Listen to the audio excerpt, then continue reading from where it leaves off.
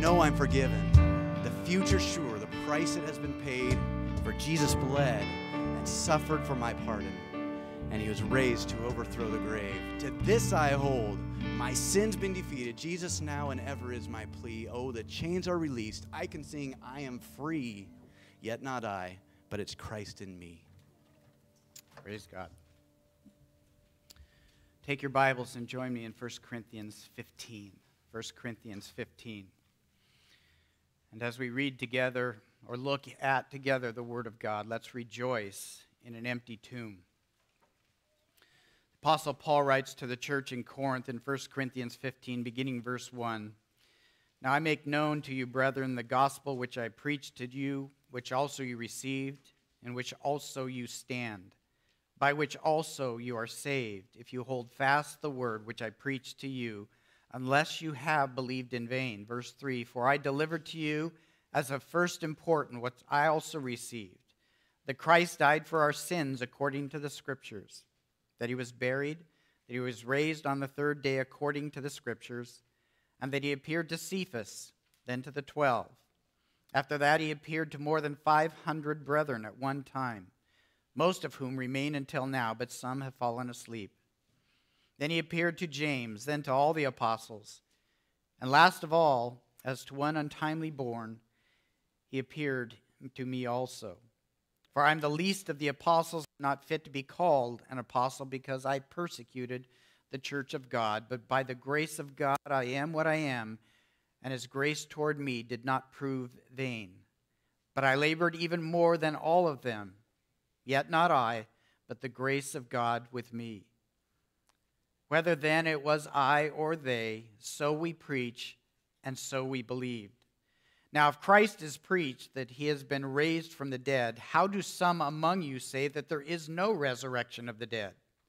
But if there is no resurrection of the dead, not even Christ has been raised. And if Christ has not been raised, then our preaching is in vain, your faith also in vain. Moreover, we are even found to be false witnesses of God because we testified against God that he raised Christ, whom he did not raise, if in fact the dead are not raised. For if the dead are not raised, not even Christ has been raised. And if Christ has not been raised, your faith is worthless. You are still in your sins. Then those also who have fallen asleep in Christ have perished. And if we have hoped in Christ in this life only, we are of all men most to be pitied. But now Christ has been raised from the dead, the first fruits of those who are asleep. Father God, as we gather this morning in celebration of a living, a resurrected Savior, we give praise first and foremost to you, being a God that has loved sinners to the extent that you would see your own Son crucified on a cross, humiliated by men and defiled with our sin, that you might pro- provide redemption so free and so full. We thank you as well for a Son that is so willing, so holy, so perfect, and of such great power and majesty that he not only bore our sins on a cross and surrendered his spirit to death, but he rose three days later and walked out of the grave. And today he is seated at your right hand. Father, we give praise to you for your Spirit as well. The God that regenerates, the God that breathes new life, the God that gives the gift of faith by your grace. Thank you, Father, for being a God that loves sinners. Because we gather here this morning as sinners who have been loved, redeemed, and given hope. Let our hope, let our redemption fuel our passion to worship you this morning. And as we leave this place, to continue living in worship for you because we have been raised with your Son. We pray this in his honor and for his glory. Amen. As Christian was reading the scripture this morning, and you listen to the account of the resurrection again, it is still stunning, is it not, to read that after the tomb was vacated, men objected to even a resurrected Christ to the extent that they would conspire against him and money would be exchanged to silence this story. I think in our nation, there used to be a time at least when the idea of the resurrection was respected if it wasn't believed. It was at least respected. It is no more, is it? You're either despised because of the rejection or the resurrection that you believe, or your hope is found there. This week I was reading a news story and I was a bit overtaken by this particular news story because a, a, political figure and apparently a medical doctor was celebrating the coming resurrection celebration that we enjoy. And apparently he was a believer, is a believer. Because he wrote this article and it was posted on the news as that which gives hope to mankind the empty tomb. And if you've ever taken the time to scroll down at the bottom of those articles, sometimes you read the comments below. And after this man had given testimony of his love and his hope in the resurrection, the empty tomb, and a living Savior, this is the comment that one person wrote. He said, If we really want to improve democracy, we should stop people who are stupid enough to believe these convoluted stories from voting. There's a point where someone is too stupid to be able to make good decisions. And that point is when they believe in this nonsense. I don't think this is an isolated attitude toward Christianity or the resurrection any longer. In this nation, we are viewed as so ignorant, apparently, we shouldn't even be able to vote because we believe in the empty tomb. Our Resurrection Sunday celebration is truly a traditional part of church history and for good reason. Our entire Christian faith, our entire belief system rests upon the empty tomb, as Paul wrote in 1 Corinthians 15. And by the empty tomb, we mean that Jesus Christ is alive. He rose again in three days, and he ministered for some 40 days thereafter, and then he ascended to the Father, to the throne in heaven where he is to this day. And if this were not true, then as Paul says, our faith is in vain. We're false witnesses of God. We're still in our sins, and we're even to be most pitied among all of humanity. And I think we understand that Easter has many pagan devices that is attached to it. And certainly, as we look at God's word, this day in particular, recognizing the resurrection, is not a holy day in that it has not been ordained by God. If it was ordained by God, it would be instructed in His Word that we remember one day for the resurrection. But the very fact that the church has gathered since its earliest days on the first day of the week is a resurrection celebration in itself, isn't it? The famous British preacher Charles Spurgeon once preached on an Easter Sunday with these words We gather together on the first rather than upon the seventh day of the week because redemption is even a greater work than creation and more worthy of commemoration, and because the rest which followed creation is far outdone by that which ensues upon the completion of redemption. There's nothing like the rest of redemption. That's what Spurgeon is saying. The rest that we have in Christ. Our first day of the week gathering every week is the result of the early church meeting on that day in commemoration of the resurrection of Christ, which ushered in a new Sabbath rest for the people of God of far greater significance than even the Sabbath rest of creation, as Spurgeon, Spurgeon admits. A once a year Easter holiday may not have been ordained by God, but the weekly holiday of Sunday worship most, most certainly has been ordained by God in recognition of God's Son and his victorious redemption. And this means that you and I continually or corporately celebrate the empty tomb as we faithfully gather each week in the name of Jesus Christ. Resurrection Sunday, then, is every Sunday. And in the same way, the believer's resurrection, the believer's resurrection, is a continual celebration. And this is so because believers have been united with the resurrected Christ by faith. The apostle Paul put it this way, Galatians 2:20, You Awana kids know this. Many of us adults know this verse. Paul said, I have been crucified with Christ. It is no longer I who live, but Christ lives in me. And the life that I now live by faith in the flesh, I live by faith in the Son of God who loved me and gave himself up for me. That is Paul's testimony. That wasn't just a memory verse for Paul. It wasn't just an exciting declaration that we speak to each other. This was his living testimony. And this is the theme for our study this morning. I mentioned on the way over here, driving with my family, that I wasn't going to have a necessarily traditional Easter Sunday message. You know, my wife said, uh oh.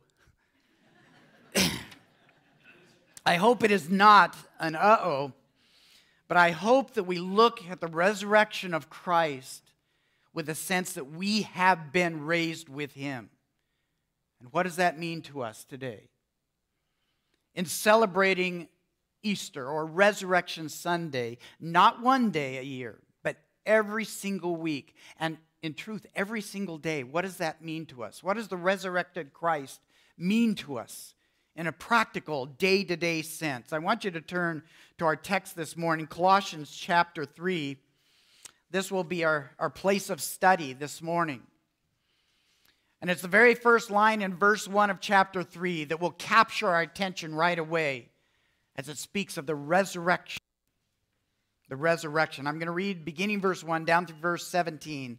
The Apostle Paul writes to the church in Colossae Therefore, if you have been raised up with Christ, keep seeking the things above, where Christ is, seated at the right hand of God. Set your mind on the things above, not on the things that are on earth.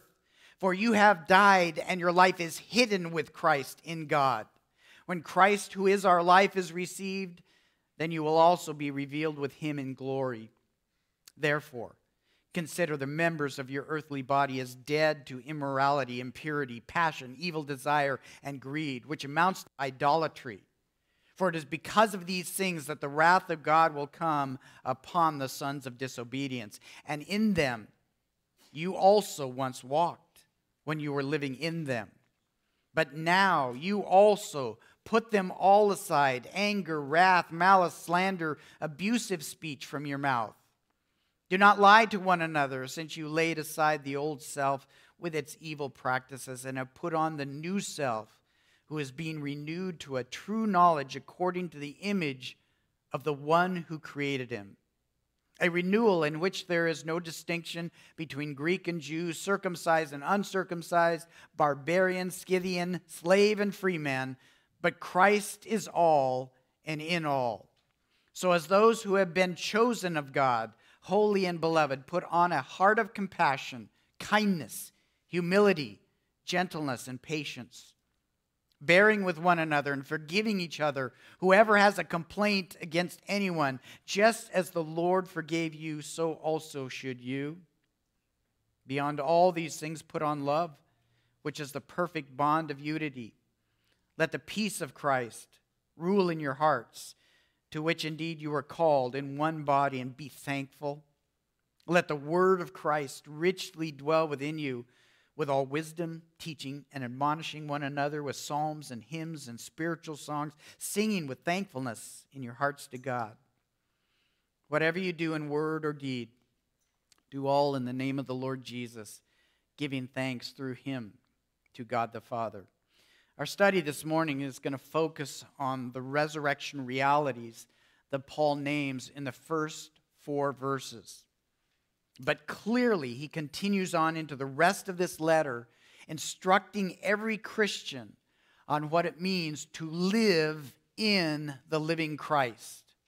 To live in the living Christ.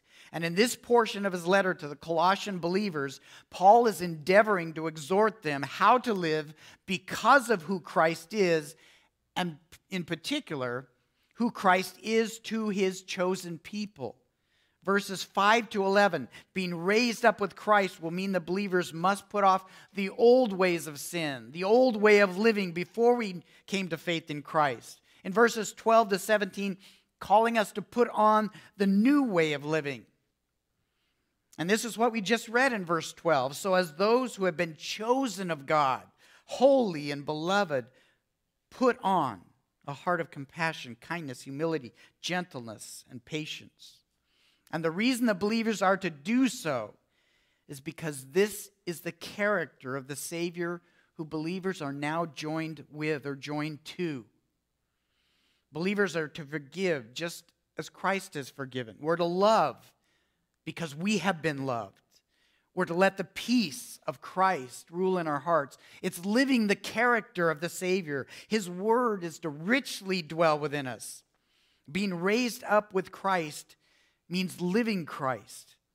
We tend to look at the resurrection from the view of what Christ has given to us, and He's given us much, hasn't He? But Paul wants the church to know because of the cross, this is how we are changed. This is how we're to be different.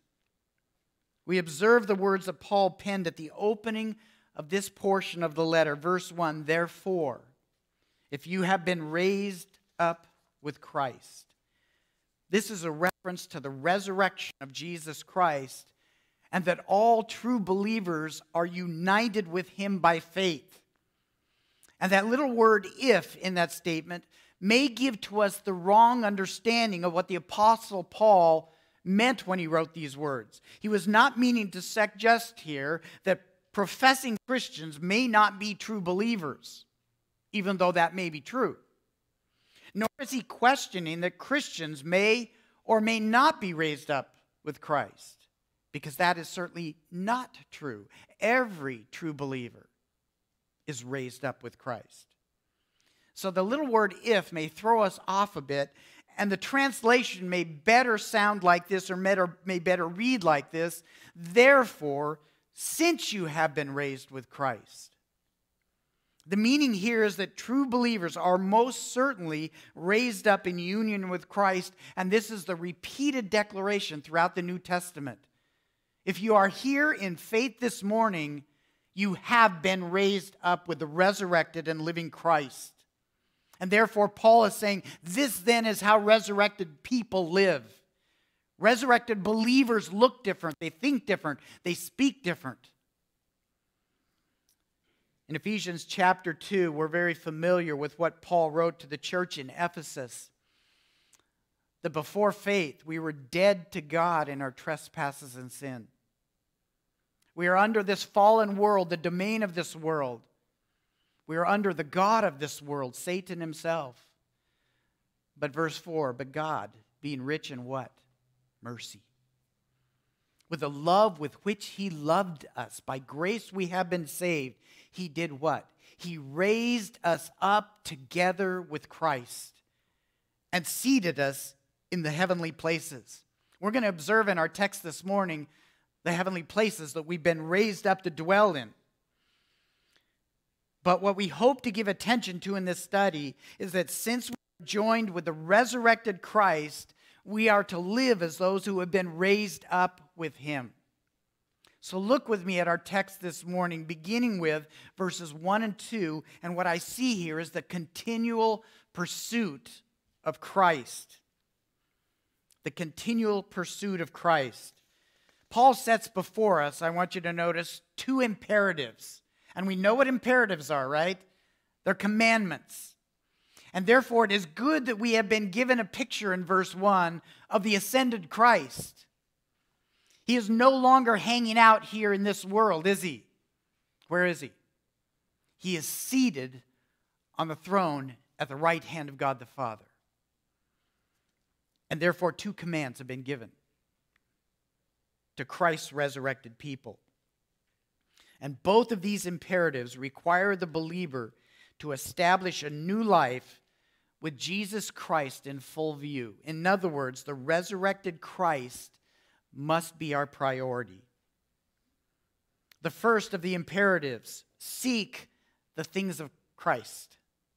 And the way that Paul puts it, he says, keep pursuing, keep going after the things of Christ. Within this command, it is written in the present tense, which means you do it now and you keep on doing it. We're to seek after the things that are above where Christ is seated. In other words, go after with passion the things that belong to Christ. The things that are above in this reference is speaking about all of those things that Christ has given us to do, all of those things that have been given to us to live by.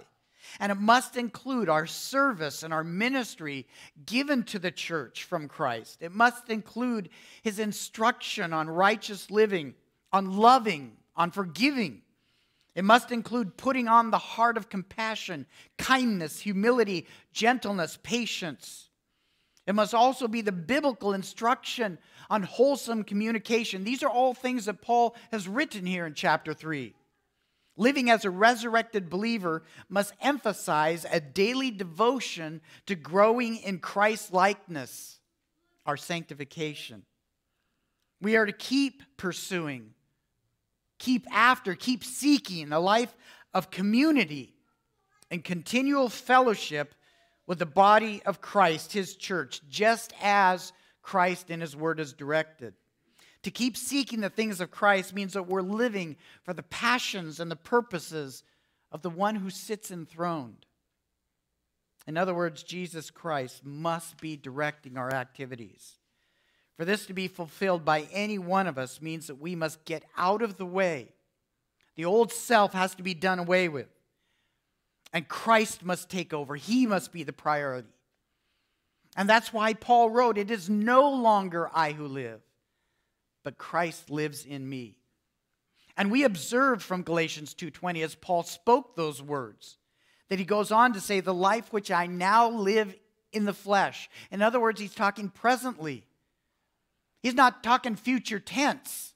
One day when I get to heaven, then I'll behave. Then I'll think more about the things of God.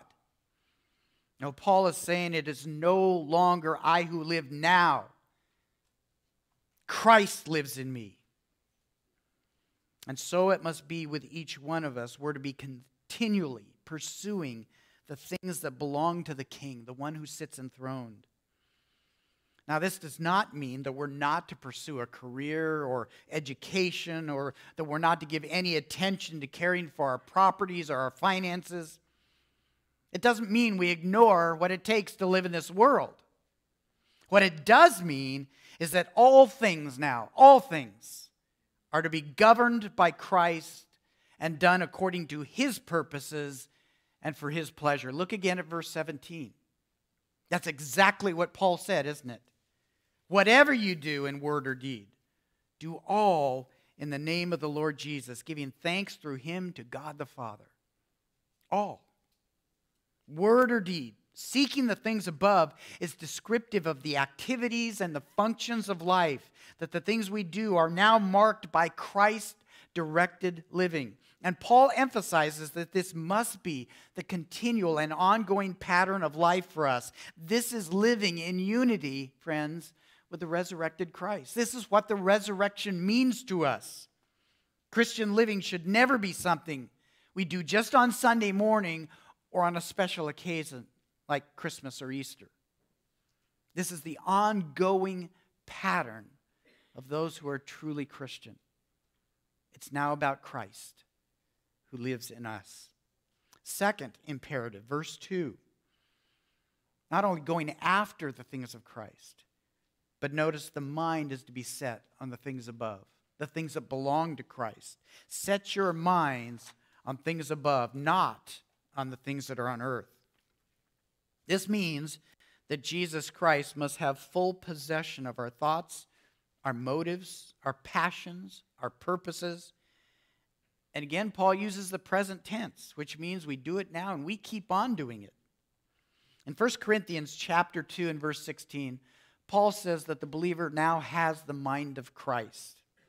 But that doesn't mean that the Christian automatically begins to have all the right thoughts, to do all the right things, to have all the right passions and affections.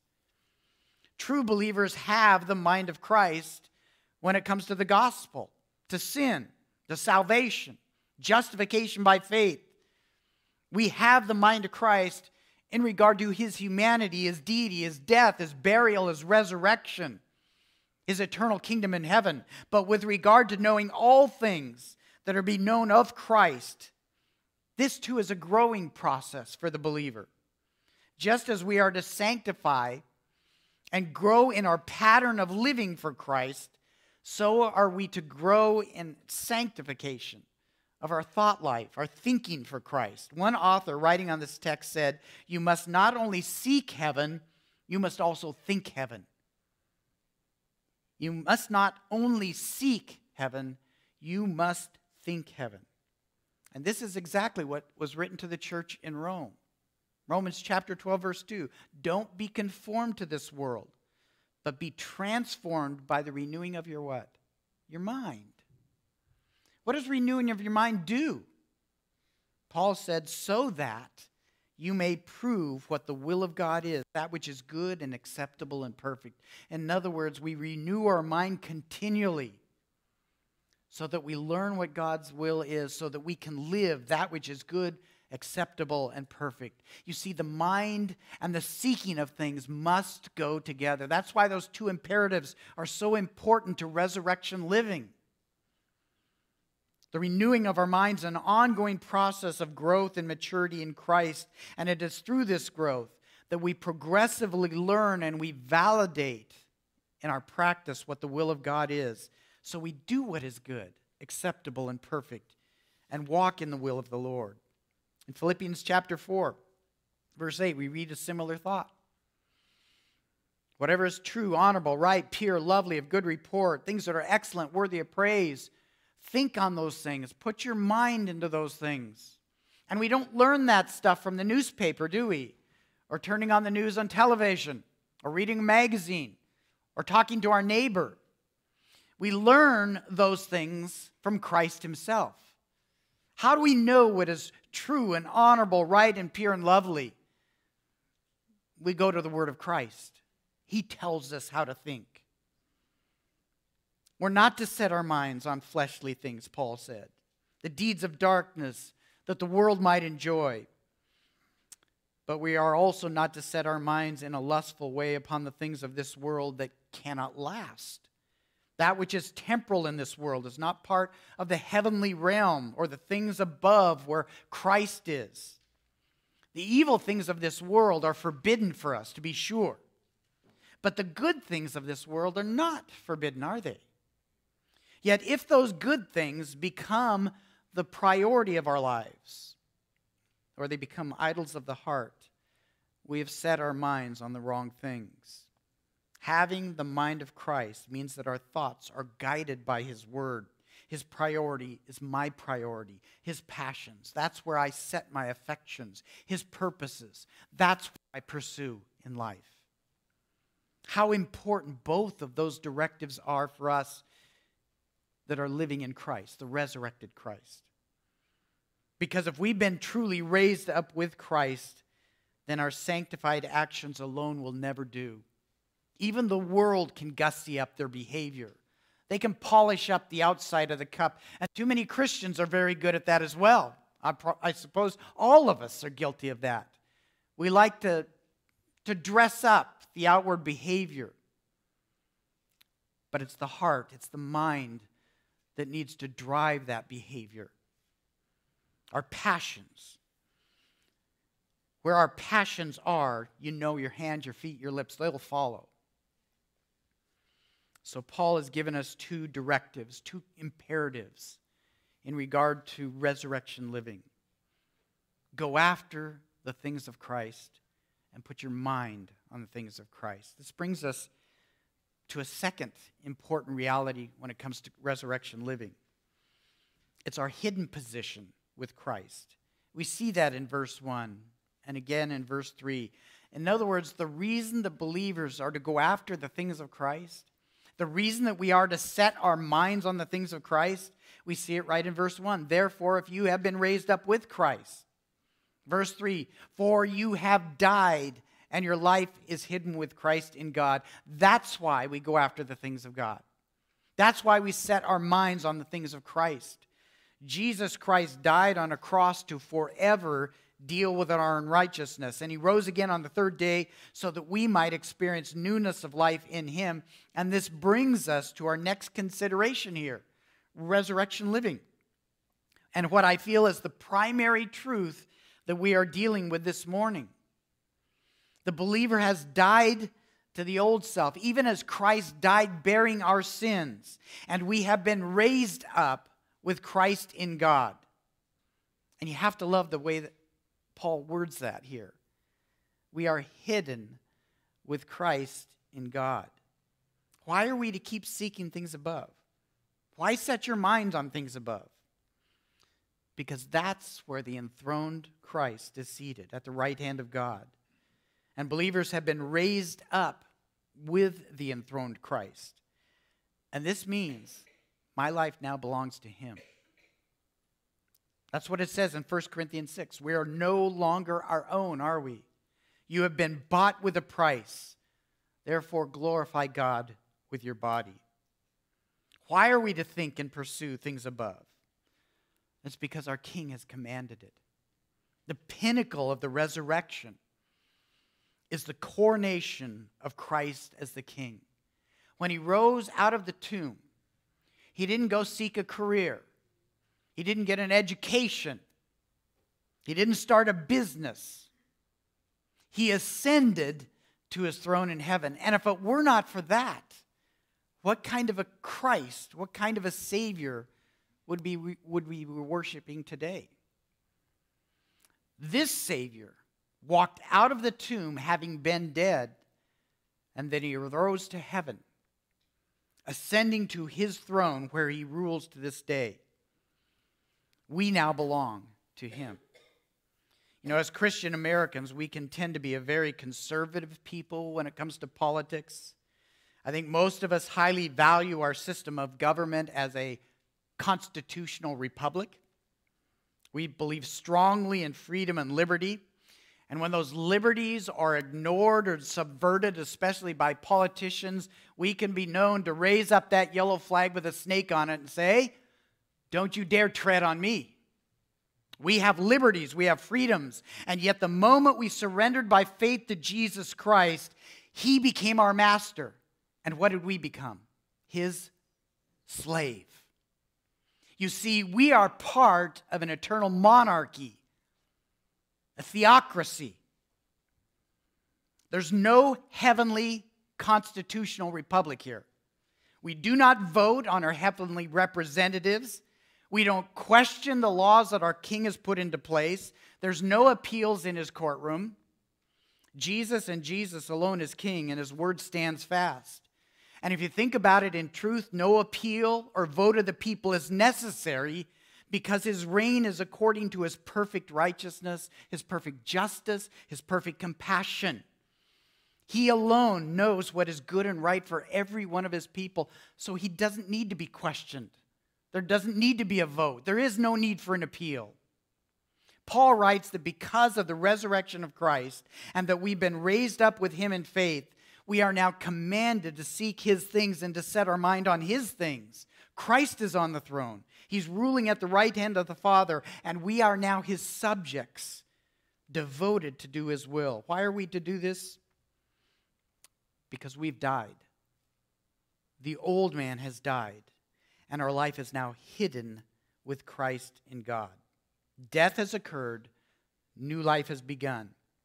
And according to Romans chapter 6, verse 4 and 5, union with Christ means union with his death and his resurrection. That's what it means to be united with Christ. Paul writes, Romans 6, therefore we have been buried with him through baptism into death, so that as Christ was raised from the dead through the glory of the Father, so we too might walk in newness of life.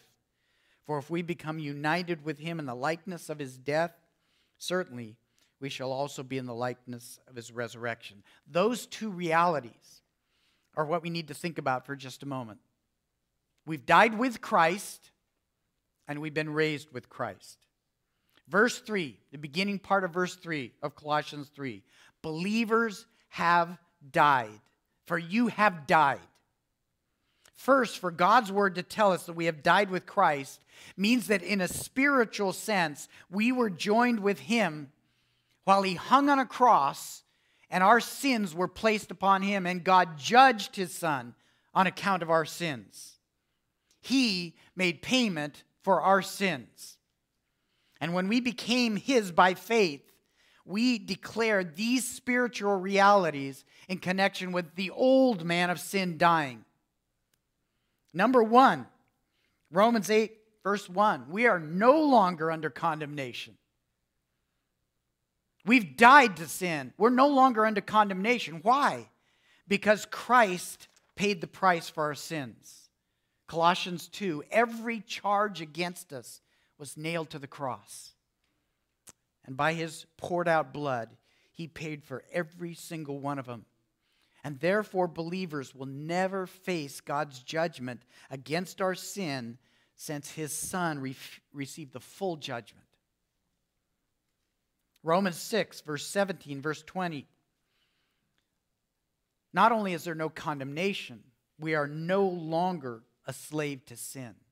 We are no longer a slave to sin. This is what it means to die with Christ. We're not a slave to sin any longer. And this means, even though we may choose to sin, and too often we do, we no longer are compelled to submit to sin as the master over us. Christ has set us free from that former bondage to sin. And furthermore, John 17, 16, we are no longer of this world. We once were, we are no longer of this world. Jesus, in praying to the Father before his disciples, taught them, You're not of this world. You used to be, but you're not any longer. You look at Colossians 2:20. As Paul began to articulate all wisdom and knowledge is in Christ. We don't go with the world's philosophies anymore. We don't follow their traditions. Chapter 2, verse 20, we don't even follow their religious distinctions. If you have died with Christ to the elementary principles of the world, why, as if you are living in the world, do you submit yourself to decrees? The decrees set by the world. Why do we live according to the determinations of the world when we're dead to the world? We don't belong to that world anymore. If we don't belong to this world any longer, we are no longer under the dominion of Satan, who is called the God of this world, 2 Corinthians 4. There's much more that could be said about what it is to us to die with Christ. But what this means for us is that we can no longer continue to live as we once did since Christ died for us. The follower of Christ is therefore dead to the old life of sin the old self centered way of living, dead to the way the world lives. The second part of this, not only have we died with Christ, but verse 3 again, Colossians 3, we've been raised up with Christ. We've been made alive with Christ. For if you have died, your life is now hidden with Christ in God. That's a fascinating description of being made alive with Christ, hidden with Christ in God. Now, there are two possible ways for us to understand Paul's meaning here when he speaks of us hidden with Christ in God. First, the word hidden has the meaning of being kept secret or concealed by covering. And what this suggests is that once we come to faith, we have been covered over by Christ Himself, covered with Christ. And therefore, as God sees us, He doesn't see us as the man or the woman of sin any longer. He sees us as His Son. Even though we are no longer a slave to sin, even though there's no condemnation against us for sin, we still sin, don't we? It is amazing to me that God now looks at us and He doesn't see that sin. But the reality is, the blood of Christ is covered, the righteousness of Christ is covered. That's what we read in 2 Corinthians 5. We have become the righteousness of God in Christ. Think of yourself as the righteousness of God in Christ. Well, you know that didn't come by your doing. That is the Son of God that is covering you. You're concealed, you're hidden with Christ in God. But there's another connotation that I believe is also true to Paul's choice of words here. To be hidden with Christ in God can mean to hide in a safe place. You're hidden in a safe place. And what this teaches us is that we're fully secure in Christ and in God's embrace. Boy, that makes me think of John 10. Nobody can snatch you out of the hand of the Savior, right? Because he's greater than all. And my Father, who is more powerful than all, has a hold of you as well. Nobody can take you out of his hand. You are hidden with Christ in God. That's a safe place. Why does the world mock the empty tomb? To be raised to a life hidden with Christ, therefore, has these spiritual realities. Romans 8, verse 9 we have his spirit within us. That's what it means to be hidden with Christ in God. We have his spirit within us. Romans 8, verse 9 teaches that the true believer has the Spirit of God dwelling within, and if any do not have the Spirit, they don't belong to Christ. Well, how do we know if we belong to Christ? How do we know if we have the Spirit? Paul, Paul goes on to write, Romans 8, that those who are led by the Spirit, those are the true children of God. In other words, those who are seeking the things above, those who are setting their minds on the things of Christ. They have the Spirit of Christ. They're being led by Christ. Second, Romans chapter 6, verse 18, verse 20. We're no longer slaves to sin. We are a slave to what? His righteousness. The righteousness of God. We've been made slaves to God Himself. We're enslaved to God. He is our new master. We're enslaved to do His righteousness or to live by His will. And third, Ephesians chapter 2, verse 19 to 22, it tells us we are citizens no longer of this world. We are citizens of his eternal kingdom. Citizens of his eternal kingdom. We're no longer alienated from God. But having been raised up with Christ, we have been brought near to God by the blood of Christ. We are fellow citizens with the saints of God. We're of his household, being built up together into a dwelling place of God. If you look back at Colossians chapter 1, verse 13, Paul opens this letter with these words For he, God, rescued us from the domain of darkness and transferred us to the kingdom of his beloved Son. We are now part of that kingdom. And this means that we're now under the eternal reign of Christ, who is the king of that kingdom, who is seated at the right hand of God. He is our eternal king, and we are subject to his word, slaves to his will. Why must we seek the things of God? Why must we set our minds on the things of Christ, heavenly things? Because the risen Christ is also the reigning king, and we belong to him. And this brings us to a third consideration from these first four verses of Colossians 3, focusing on the fourth verse. Our final point of study this Resurrection Sunday is the forever paradise the, the believer has with Christ. Ephesians 2 speaks of a heaven, heavenly place that we now have with Christ. God, by his mercy, has made us one with Christ and seated us with him, with Christ, in the heavenly places. And we see from Colossians 3, verse 4 here, that there is both a present and a future application to that position that we need to consider. One author writes These verses reflect Paul's conviction that the life and the destiny of the believer are inextricably bound up with Christ. Both the present life and the future destiny of the believer are inextricably bound up with Christ. And this is perhaps where I think many of us may go very wrong in living our relationship with Christ. It's correctly assumed that we're going to spend eternity with Him. It's also correctly assumed that His Spirit indwells us, so Jesus is never parted from His people, He is always with us. Yet generally, we will live every day with a thought that, well, I'll call on Jesus when I need Him. When I need the extra help, He'll come, He'll take care of it. Perhaps I'll spend a small amount of my day in private devotions, offer an occasional prayer. I'll give thought to the things of Christ when my mind happens to focus on those things. Sunday morning, that'll be a time I give full attention to Jesus, at least for an hour and a half, as long as I don't want to sleep in.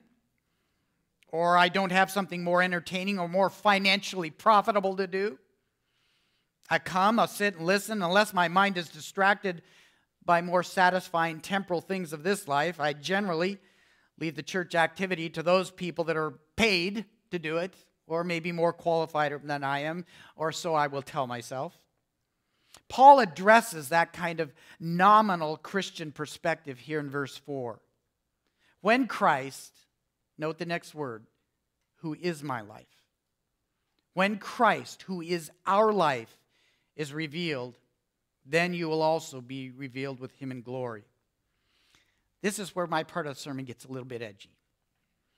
Here he makes certain that we understand that our eternity will be bound up in Christ as it is in this present life. It is the resurrection of Christ and our resurrection with him that has caused this. So consider these two parts with me. First, the present glory in verse 4. Christ, who is our life. When Christ, who is our life, we consider the present glory that we share with the living Christ. Paul clearly wants us to consider our future days with Jesus Christ in this verse. But it's almost like he pauses here, mid sentence, mid thought, and injects the truth of our identity with Christ. When Christ comes, he stops right there. When Christ, who is our life, is revealed. And this is a major theme throughout the letter to the Colossians. It's about being in Christ, Christ in you, the hope of glory. Chapter 1, verse 27. That's the repeated theme throughout Colossians. Christ in you, you in Christ. It is probably more likely that when we think of being glorified with Christ, where does our mind go? Heaven, right? That's when I'm going to be glorified with Christ. Eternal life, when I go to heaven, when I die, I leave this place behind. We think, how wonderful will that day be for us? But before our minds are allowed to even think of that future glory, Paul reminds us that Christ is now our life. It's all too easy for Christians to live in present distractions and we all get caught up in it. The busyness of life takes hold of our thoughts and our duties. The problems of this life keep us away from seeking the things above. Could even be a pandemic that is, that's inspiring a fearful retreat. Perhaps it's prosperity or pleasure or just plain selfish living. Maybe this life has not panned out the way we think God should have provided for us living in something of a disappointment. So we retire to a comfortable place of licking our wounds and living in the shadows. All the while, we have our eyes set on eternity and we content ourselves to say, ah, heaven's going to be so much better. I hope it comes soon because I'm not finding much satisfaction here. That kind of spiritual lethargy, Paul would say, brother or sister, Christ is now your life. You've been raised up with the resurrected Son of God, and you are to keep seeking his things. Keep your mind fixed on what he has for you. You are to live in his present glory. There is a glory to be revealed, to be sure, but there is a present glory in that we have been raised up with Christ and we have been entrusted with his things, heavenly things. I'm very often reminded of Paul's words in Philippians chapter 1. We love these words for me to live as Christ, to die as gain. We love that last part to die as gain. Oh, Lord Jesus, come quickly. Look at the mess of our nation, the world, our community around us. But we miss or gloss over that first part. part. For to me, to live is Christ. And remember, Paul grappled with that idea. Heaven is so much better, it's the far better thing. But Paul says, stay here or go to heaven. I don't know which to choose. Stay in this world that tortures me and persecutes me, that's filled with Christians and churches that are nothing but trouble, or heaven and its glory. And Paul says, I don't know which to choose. What's wrong with him? What was wrong with Paul is he saw the glory of living in Christ in the here and now. He said, Jesus leaves me here. I continue ministering to the progress of the joy of your faith, he writes to Philippians. Those believers could grow in Christ if Paul would just handle the glorious things of Christ, if he would seek the things above, if he would set his mind on the things of Jesus who sits enthroned. I'll serve you now. The present glory of being in Christ meant so much to the Apostle Paul. Perhaps too often we're looking for the joy of life that we want, not the joy of our gospel faith with Jesus Christ. And I think I'm as much at fault as any of you. We need to see our present time here on earth as a life that is Christ. We need to see the present glory of being raised up with Him where we're continually in pursuit of heavenly things, setting our minds to His glories, His purposes. If with Paul, you could say right now, Christ is my life, what might that change in your present state? If you could honestly say with the Apostle Paul, today Christ is my life, what would that change? And we move to the second part, the future glory. Verse 4 that will be revealed with Christ. We have so much to look forward to. Verse 4 continues by encouraging the Christian to live presently, knowing that the day is going to come. We're going to see all the troubles in this life are worthwhile. The future glory is going to be revealed. It's the glory of our completed salvation when, in the presence of the Savior, we are forever freed from sin, pain, and sorrow. We'll see Him face to face. And the scripture says we will be like Him, just as He is. The Word of God tells us that we are to always have our eyes fixed on that day. We're told to long for it, to desire that day. In other words, we're to keep seeking the things above because we're looking above. We're to keep pursuing a mind that is fixed on the things of Christ because we're thinking about Him. We're anticipating that day to come. We're living presently, anxious to see the risen Christ. I want to turn your attention as we close this morning to 2 Timothy chapter 4. 2 Timothy chapter 4. It's in this passage that we see these two thoughts brought together so wonderfully future glory, present glory. Paul was looking forward to that future glory. And he writes in 2 Timothy 4, verse 8 In the future, there is laid up for me the crown of righteousness, which the Lord, the righteous judge, will award to me on that day. And not only to me, but to also all those who loved his appearing. Most of you here today that are true believers, do you not love his appearing? You're anxious to see him. We're anxious to be done with all of this pain and trouble. Paul was excited as he wrote those words. And he wrote him as he was facing his own execution. He was about to be condemned to die and beheaded. And it's very important that he was look that we see that he was looking forward. very apparent to us that he was excited about the prize that Jesus had promised to give him. It's a crown representing the righteousness of Christ's glory. Paul said he's going to get that crown because he loved the appearing of Jesus. And the same would be true of all believers that love the appearing of the Lord. But what we don't want to miss here is why Paul was excited about this crown. Why did he anticipate getting this crown? He was not just a Christian who sat quietly in the shadows of Christian service and ministry. Rather, before he told Timothy that Christ has laid up in heaven this reward, back up one verse with me. Paul wrote, I have fought the good fight, I finished the course, I kept the faith, and I'm anticipating that crown of righteousness. We can't leave those two parts or verses separate. How do we know that Paul was truly excited about the future glory with Christ? Because he was living in the present glory of Christ. How do we know that he was devoted How do we know that he was in love with that future heavenly picture, promise? Because he lived in the present in that promise.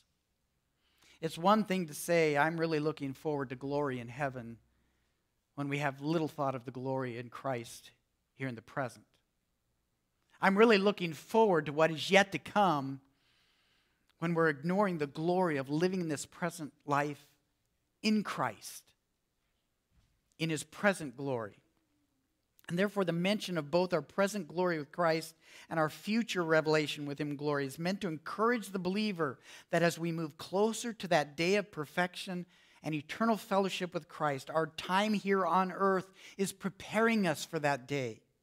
Our time here on earth expresses our passion for that coming day of glory. It's awful hard for us to say, I'm really looking forward to heaven when you're not living that way here on earth. If we have little interest in the righteous things of Christ in this life, are we really truly anxious to see that righteous crown placed on our head in heaven? It is our pursuit of the things above in this life that prepares us for the next. Our love for the coming glory of Christ will be evident in our love for his present glory. Now, in closing, if spiritual lethargy were not a problem in the church, Paul would not have needed to write these words. If spiritual discouragement were not a problem in the church, he wouldn't have written them. If spiritual selfishness or indifference or ignorance or spiritual defection was not a problem with Christians, why make an exhortation like this? The truth is, all of us struggle with these things to some degree. Therefore, it is necessary that the Word of God reminds us Christ is our life because He lives, that we have been raised up with the resurrected Christ, that one day we're going to be revealed with Him in glory, and that this risen Savior is the enthroned King of kings, seated at the right hand of God the Father. Jesus Christ lives, and we live in him. And for this reason, just three quick considerations. Number one, consider if you have actually been raised up with Christ. Consider if you have been raised up with Christ. If some measure of seeking things above or setting the mind on things of Christ is not part of your life, you may need to consider have you surrendered your life by faith to Christ? And we we would challenge you this morning. What a wonderful day to do that. On the day that remembers or memorializes the resurrected Christ. Encourage you, if you haven't done so, give your life to Christ, the resurrected one who is seated on the throne of heaven. Second, Consider what it means to your life that Christ is seated at the right hand of God. What does it mean to you that Christ is seated at the right hand of God? As a professing follower of Christ, do you live as one surrendered to his rule? Is he your Lord and Master? Do you submit daily to his will? As we've been instructed, are you pursuing the things above, setting your mind on the things that belong to Jesus Christ? in the present, pursuing his glory. And third, consider how you may value the coming revelation of Christ's glory. How do you value the coming revelation of Christ's glory? If we are truly looking forward to the future glory with Christ, you will be equally concerned for his present glory as we live in him. God help us to live that way before this world. Father in heaven, we gather as believers that have been made alive by your Son, Jesus Christ, and his finished work on Calvary. Our sins have been forgiven. There's no condemnation against us any longer. The old man of sin is laid to rest, no longer a slave to that form of living. But now we've been made a kingdom people, slaves to your righteousness with a future glory awaiting us. Father, would you help us as a church people to live as resurrected believers, to live in the present glory of our Savior, to enjoy and relish all of those graces and the things of Christ that we've been entrusted with, that he might be glorified in his church today. And we pray this in the name of Christ. Amen.